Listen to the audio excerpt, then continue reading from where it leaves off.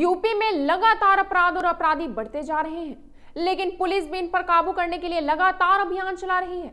इसी के मद्देनजर डकैती की घटना को अंजाम देने जा रहे बदमाश और पुलिस के बीच मुठभेड़ हो गई।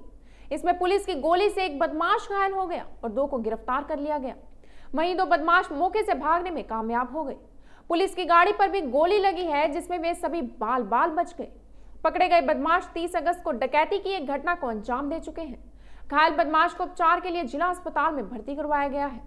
एसपी सिटी अंकित मित्तल ने बताया कि एसओजी और गल शहीद पुलिस को सूचना मिली थी कि कुछ बदमाश ईदगाह के कब्रिस्तान के पास मौजूद हैं और मुठभेड़ मुंडा पांडे थाना क्षेत्र में डकैती घटना को अंजाम देने जा रहे हैं। पुलिस ने इनके पास से बीस हज़ार रुपया, तमंचा, कारतूस व मोबाइल बरामद किया।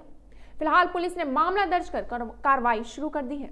आज थाना गलछेद पुलिस और एसओजी टीम मुरादाबाद को एक सूचना प्राप्त हुई कि नियारिया कब्रिस्तान के पास कुछ लोग बैठकर मुडा पांडे देहात क्षेत्र में डकैती डालने की योजना बना रहे हैं।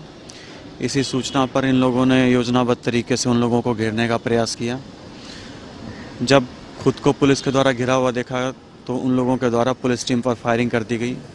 उनके द्वारा दो फायर किए गए, जिसमें से एक फायर जो है थाना गलछेद पुलिस की जीप पर भी लगा है।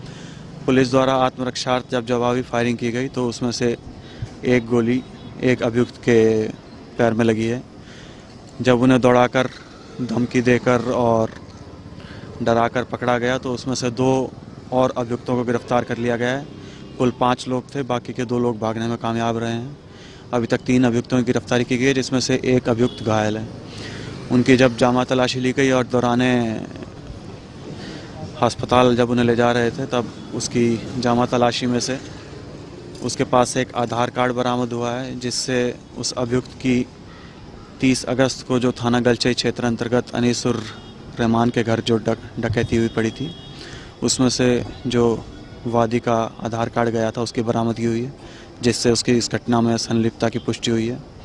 बाकी दो लोगों से बातचीत की गई है, उसमें से एक और अभियुक्त इस घटना में शामिल था। कुछ लोगों के और नाम आए हैं, जिनको कि शीघ्र गिरफ़्तार किया जाएगा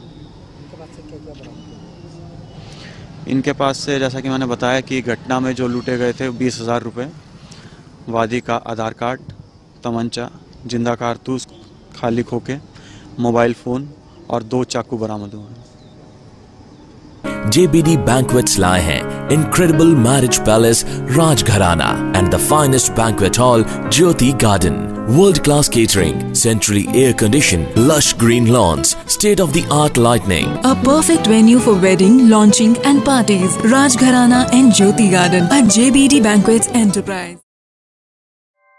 ऐसे ही लेटेस्ट खबरें पाने के लिए बेल आइकन को क्लिक कर हमारे चैनल को लाइक शेयर एंड सब्सक्राइब करें धन्यवाद